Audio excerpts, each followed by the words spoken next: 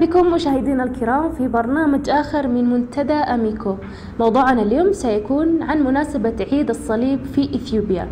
وللحديث أكثر والتعرف عن تاريخ الصليب سيكون معنا ممثل الكنيسة القبطية الأرثوذكسية في إثيوبيا أبونا أنجلوس. فكونوا معنا.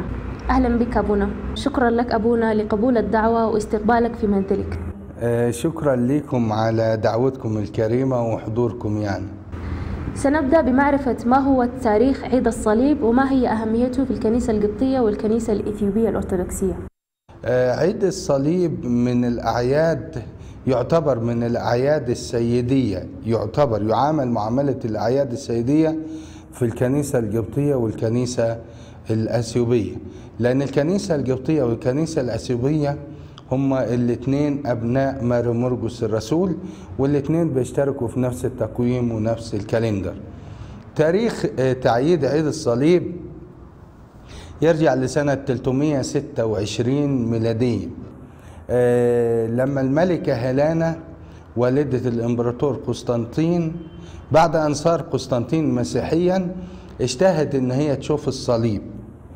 فاستأذنت الإمبراطور قسطنطين وخدت معاها 3000 جندي وراحت أورشليم تدور على الصليب. آه، عيد الصليب فيه عيدين في السنة.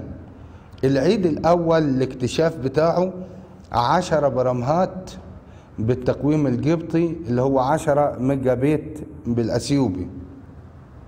بس علشان آه، عشرة برمهات أو عشرة ميجا بيت بيوافق الصوم الكبير فبيتعيد فيه يوم واحد بس والآباء بعد كده أجلوا الاحتفال لتدشين كنيسة الصليب يوم 17 توت أو 17 مسكرة.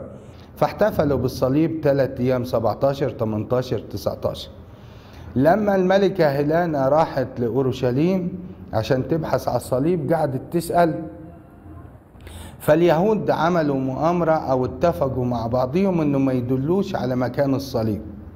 فجابت راجل عجوز خالص آه، وسألته فين الصليب؟ آه، وجابلت القديس يهوذا أسقف أورشليم. وسألته عن مكان الصليب فتلها فدلها على تل كبير. لها هنا كان بيقولوا لنا الآباء والأجداد إن هنا مدفون الصليب بتاع يسوع الناصري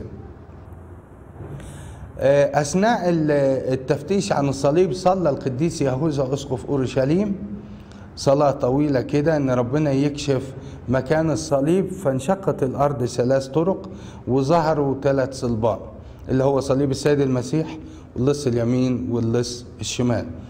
طب هم مش عارفين أي واحد فيهم صليب المسيح. فكان معدي معديين بجنازة ميت. فأمر القديس يهوذا أن يوقف الميت. حطوه على الصليب الأول ما قامش حطوه على الصليب الثاني ما قامش حطوه على الصليب الثالث قام الميت. فتحققوا ان ده صليب السيد المسيح. لما لقيوا الصليب لقيوا معاه اللوحة اللي مكتوب عليها هذا هو ملك اليهود. ولقيوا أكليل الشوك ولقيوا المسامير. فاحتفلوا يوم عشرة برمهات أو عشرة ميجا بيت باكتشاف الصليب. بعد كده شرعت الملكة هيلانا ببناء كنيسة القيامة أو كنيسة الصليب على مغارة الصليب اللي هي حاليا موجودة في أورشليم كنيسة القيامة. ولما انتهت من بنائها استدعت طلبت من البابا أثناسيوس الرسولي بابا الإسكندرية وبطريرك الكرازة المرقسية البطرك العشرين. إنه يحضر بالأساقفة بتوعه يدشنوا كنيسة الصليب. فحضر البابا أثناسيوس الرسولي وحضر بطرك القسطنطينية وأسقف أورشليم ودشنوا الكنيسة يوم 16 النهاردة بالليل لأنه تدشين الكنيسة بياخد ليلة كاملة. صلوات وتدشين ميرون أيقونات وصلوات على المية. فخدوا الليلة كلها يصلوا تدشين الكنيسة والصبح طافوا بالصليب يعني لفوا بالصليب الكنيسة واحتفلوا بعيد الصليب ثلاثة أيام اللي هو 17 18 19 بعد ما احتفلوا بالصليب ثلاثة أيام بعد كده كل بطرك كان حاضر أخذ جزء بركة من الصليب ورجع على كرسيه ورجعت الملكة هيلانا معاها إكليل الشوك والمسامير حتى ان أحد المسامير دي خده الإمبراطور قسطنطين وكان حاطه في التاج بتاعه. ده بالنسبة للاحتفال التاريخي لعيد الصليب. أهمية الصليب للكنيسة القبطية والكنيسة الأثيوبية. الكنيسة القبطية منذ من أول ما جه مارمورجوس مصر سنة 65 ميلادية وكانت الكنيسة القبطية تستعمل الصليب في كل صلواتها. يعني لا يوجد صلاة على الإطلاق سواء كانت صلاة جماعية أو صلاة لتروجية أو صلاة فردية بدون ما تبدأ بالصليب وتنتهي بالصليب. حتى إن الآباء يقولوا علامة الصليب هي علامة المسيح علامة الملك. فالشخص حتى العادي إن جاله فكر أو جات له حروب من عدو الخير يرشم ذاته بعلامة الصليب ينتصر على الشيطان. فالصليب له أهمية لتروجية أهمية عقائدية أهمية تاريخية. أهمية لتروجية إن إحنا بنبدأ صلواتنا دايما برشم الصليب وننتهي بصلواتنا برشم الصليب. الأهمية العقائدية العقائدية للصليب. إن إحنا عندما نرشم الصليب نقول باسم الآب والابن والروح القدس إله واحد أمين.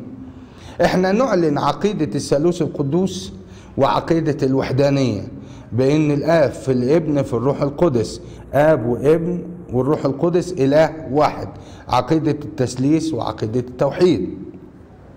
كمان نعترف بعقيدة التجسد بأن السيد المسيح نزل من السماء وحل في بطن العذراء وأخذ جسد إنسان وصار في الهيئة كإنسان. النقطة الثالثة إن إحنا بنعترف بالفداء. إن هو نجانا من الشمال لليمين. عشان كده بنقول باسم الآب والابن والروح القدس إله واحد. أمين. فهو نجانا بالصليب من الشمال لليمين. فمجرد رشم الصليب هو اعتراف بالعقيدة المسيحية. كذلك الكنيسة الأثيوبية تماما تماما زي الكنيسة القبطية لأن الاثنين أبناء مار مرقس الاثنين كرازة مار مرقس فنفس العقيدة المسيحية اللي موجودة في الكنيسة القبطية والأهمية للصليب هي هي اللي موجودة في الكنيسة الأثيوبية الكنائس الغربية قبل اكتشاف الصليب ما كانتش بتستخدم الصليب لا في صلواتها ولا بتحطه على كنيسة بعد اكتشاف الصليب يعني بعد الكنيسة القبطية والأثيوبية بحوالي 400 سنة. ده بالنسبة للأهمية أهمية الصليب في حياة الكنيسة وفي حياة أي شخص مسيحي جميل أبونا بما أنك ذكرت ارتباط احتفال عيد الصليب بتاريخ اكتشاف الصليب المقدس على بدء الإمبراطور هيلينا وما هو الدور الذي تلعبه هذه القصة في الثقافة الإثيوبية؟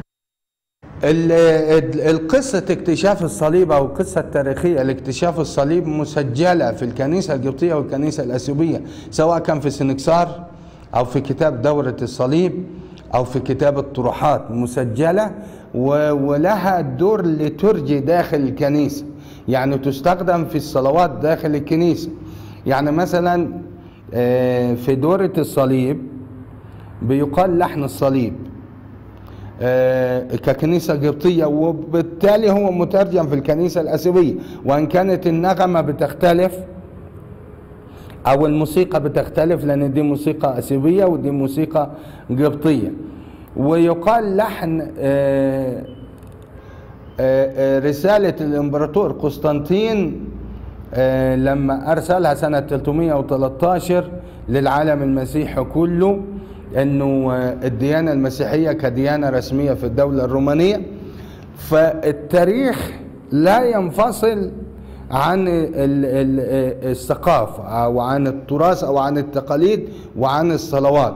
فالحادثة التاريخية لاكتشاف الصليب مسجلة في الوثائق الكنسية والكتب الكنسية وتصلى يعني بنصليها كطرح أو كلحن أو كمزمور في داخل الصلوات. ما يصلى في الكنيسة القبطية هو بعينه اللي بيصلى في الكنيسة الأثيوبية بس اللغة مختلفة واللحن مختلف. حسنا كيف يتم آه، الاحتفال بعيد الصليب في الكنيسة الإثيوبية والكنيسة القبطية وما هي الطقوس الخاصة؟ في الكنيسة القبطية في العصور القديمة لغاية سنة 1103 و 1165 قبل ما يجي صلاح الدين ويحتل مصر كانوا الأقباط بيروحوا على النيل كل الأقباط النهاردة طول الليل يبقوا على النيل يصلوا ويوقدوا الدمرة دي الدمرة اللي هي بيعملوها بكرة في في في مسكل الضباباي وفي كل الأماكن اللي بتحتفل. كانوا بيطلعوا على النيل من أسوان لإسكندرية شرق غرب يصلوا صلوات عيد الصليب ويرموا صلبان في المية. احتفالا بعيد الصليب. صلبان صغيرة كده يرموها في المية وبعد كده الصبح يروحوا راجعين على الكنايس يصلوا القداس. لكن بعد ما احتل مصر صلاح الدين منع الأقباط تماما من الخروج على النيل واحتفال بعيد الصليب. فالاحتفال ظل موجود في الكنيسة لا كانش يخرج بره زي ما بيخرج هنا في أثيوبيا إلا ما قبل احتلال صلاح الدين لمصر. احتفال داخل الكنيسة بنيجي يوم 16 مع ال- الغروب كده بنعمل العشية صلوات العشية صلوات المزامير صلوات التسبحة ونعمل دورة مع رفع البخور نعمل دورة بالصليب في داخل الكنيسة كاملة. الأماكن اللي هي زي دير الصليب الموجود في نقادة دير الصليب ده أقدم دير في العالم كله مكرس على اسم الصليب بعد كنيسة الصليب في أورشليم والاتنين بنتهم الملكة هيلانا فبنعمل آه، في إيه؟ في دير الصليب آه، الدورة بتبقى في حيز الدير كله وبعد كده تسبيحة نص الليل اللي هي بتبقى التسبيحة كاملة على مدار الليل كله والصبح ال- الليتروجية أو القداس يبدأ برفع بخور ودورة للصليب. دورة الصليب بيبقى مكونة من 12 إنجيل في 12 مكان في وسط الكنيسة أو داخل حيز الدير كله لمباركة الأماكن الموجودة. وبعد كده يتصلى القداس آه، وكل الناس آه، بيبقوا جايبين معاهم صلبان إما من زعف إما من خشب آه، يباركوها. ويرجعوا فرحانين بس ال- الاحتفال بياخد مدة زمنية طويلة. يعني القداس لا يقل عن خمس ست ساعات. وقبل منه تسبيحة نص الليل وقبل منه العشية فبياخد وقت طويل.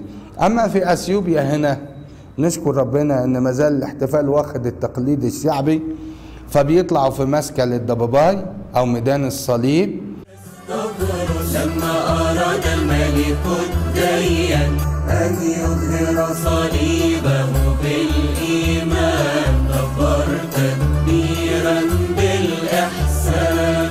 شرنا وبإستغفر صدر للملك قسطنطينوس بعدها لك بكل ديانوس.